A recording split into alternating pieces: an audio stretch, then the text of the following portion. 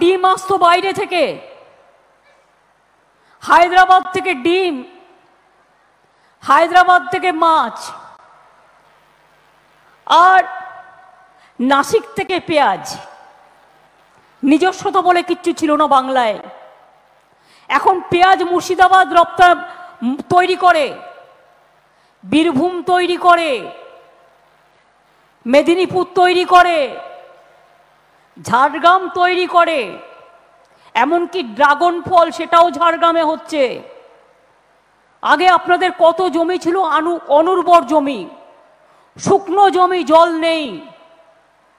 সেই জমিগুলোকে উর্বর করে ফল লাগানো হচ্ছে, ফুল তৈরি করা হচ্ছে, সবজি তৈরি করা হচ্ছে, মৎস্য চাষ করা হচ্ছে। আগে পাঁচশো কোটি টাকার চেক ড্যাম করে দেওয়া হয়েছিল। আবার আরও কয়েকটা চেকডাম ঝাড়গ্রামের জন্য করে দেওয়া হবে যাতে জলের প্রবলেম আগামী দিন না থাকে আরও কিছু পুকুর কাটা হবে।